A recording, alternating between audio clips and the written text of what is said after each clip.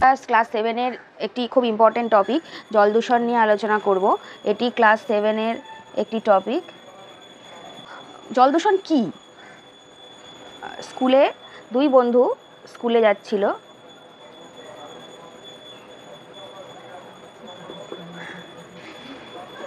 তো এরা যেতে যেতে রাস্তায় একটা জলাশয় দেখল। যেই জলাশয়ে বিভিন্ন আবর্জনা, নোংরা ইত্যাদি পড়েছিল। তো তখন এরা জিজ্ঞেস করল যে এই এক বন্ধু আর এক বন্ধুকে জিজ্ঞেস করল যে, এই জলটা দিয়ে এত পচা গন্ধ বেরোচ্ছে কেন? আমরা যেতে যেতে নিজেরা যখন রাস্তাঘাটে বেরোই, তখন আমরা যেতে যেতে প্রায়ই দেখি যে, রাস্তাঘাটে যখন কোনো পচা নদী বা পচা জলাশয় থাকে, সেখান দিয়ে যথেষ্ট গন্ধ ছড়ায়। তো সেখা, তখন আমরা বলতে পারি যে, সেখানকার জলটা কিন্তু দূষিত হয়েছে। তাহলে জল দূষণ কী? জল দূষণ কী? এই কথাটাতে আমরা কিন্তু বলতে পারি যে, জলে কোনো জল বা জলাশয়ে যখন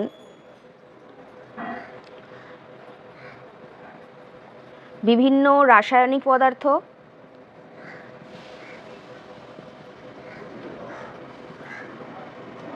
জৈব পদার্থ জীবাণু মিশে যখন ব্যবহারের অযোগ্য হয়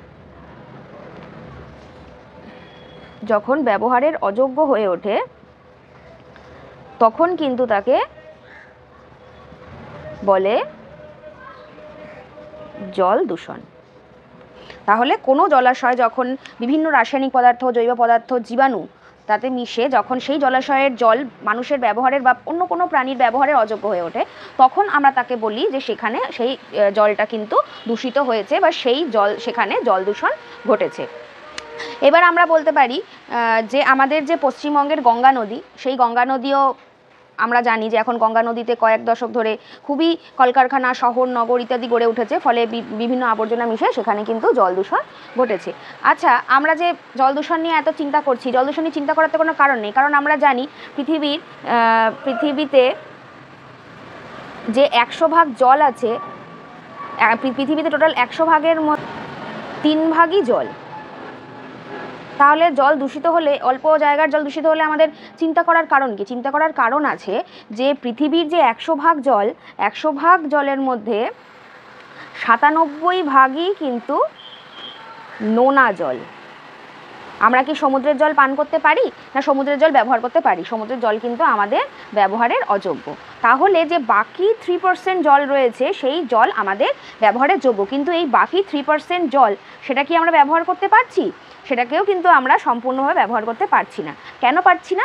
এই যে থ্রি পার্সেন্ট জলটা রয়েছে, এই থ্রি পার্সেন্ট জলটাকে যদি আমি হান্ড্রেড পার্সেন্ট জল ধরি, তাহলে এর যে সত্তর ভাগ জল, তাই সেটা কিন্তু রয়েছে আমাদের বরফ হিসাবে হিমবাহ রূপে। তো সে, তারপরে বাকি যেটুকু টোয়েন্টি নাইন পার্সেন্ট জল রয়েছে, ভৌম জল রূপে মানে আমাদের পৃথিবীর অভ্যন্তরে বা মাটির তলায়। এই যে বাকি যে জলটুকু রয়েছে মানে এক পার্সেন্টেরও কম, সেই জলটুকু হচ্ছে হ্রদ ও নদী নালাতে রয়েছে। যেই জলটা কিন্তু আমরা ব্যবহার করতে পারি। তাহলে আমাদের হিসাব মতো পৃথিবীর যে একশো শতাংশ জল, তার মধ্যে ওয়ান পার্সেন্ট জল আমরা আমাদের ব্যবহারের যোগ্য। তাহলে এই ওয়ান পার্সেন্ট জলও যদি দূষিত আমরা নিজেদের জন্য করে ফেলি, তাহলে কিন্তু ভবিষ্যতে পানীয় জল বলে আর কিছু থাকবে না। আর এই যার জন্য একটি বিশ্বযুদ্ধ হওয়ারও সম্ভাবনা আছে, কারণ কোনো জল কোনো দেশেই আর পানীয় জল অবশিষ্ট থাকবে না। তাহলে আমরা বলতে পারি যে এবার তাহলে আমরা জল দূষণের বিভিন্ন কারণগুলো নিয়ে আলোচনা করি, যে কি কি কারণে কি কি কারণে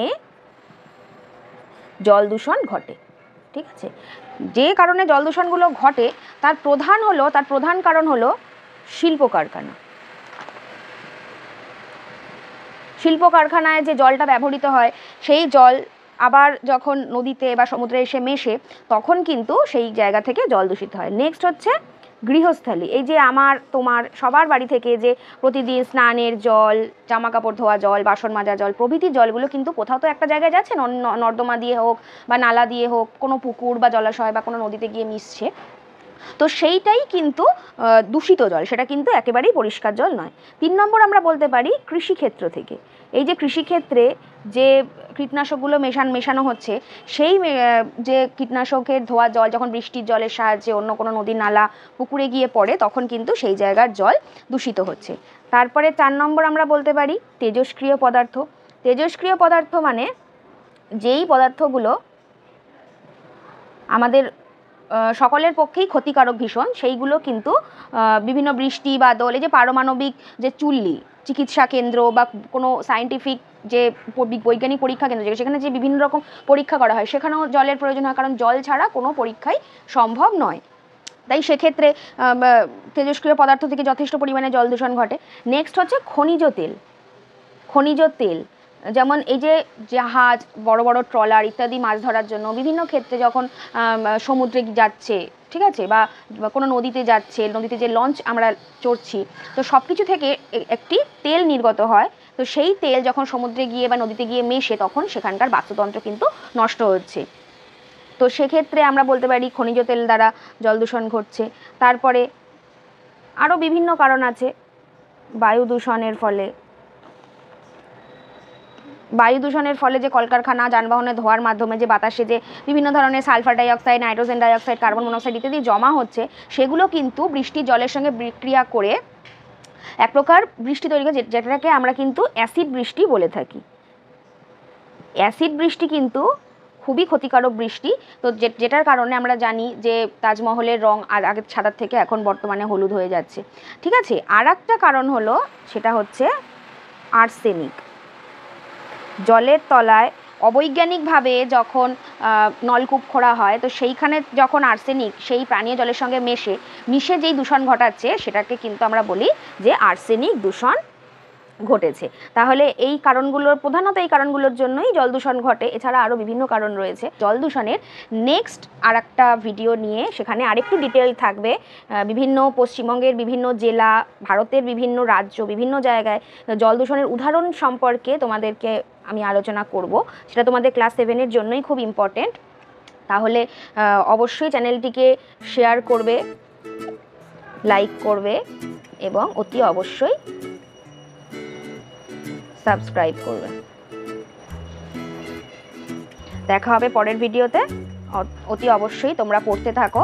যদি কারোর কোনো সমস্যা হয়, অবশ্যই কমেন্ট বক্সে জানিও।